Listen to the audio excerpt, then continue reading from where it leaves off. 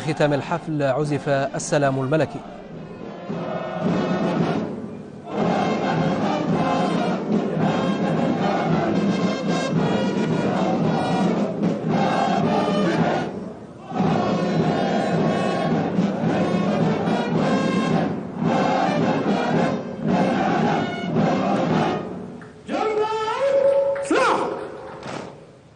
حضر الحفل صاحب السمو الملكي الأمير خالد الفيصل بن عبد العزيز مستشار خادم الحرمين الشريفين أمير منطقة مكة المكرمة رئيس لجنة الحج المركزية وصاحب السمو الملكي الأمير متعب بن عبد الله بن عبد العزيز وزير الحرس الوطني وصاحب السمو الأمير الدكتور خالد بن فيصل بن تركي وكيل الحرس الوطني للقطاع الغربي وصاحب السمو الملكي الأمير فيصل بن سلمان بن عبد العزيز أمير منطقة المدينة المنورة رئيس لجنة الحج في المنطقة وصاحب السمو الأمير منصور بن محمد بن سعد وكيل وزارة الداخلية لشؤون المناطق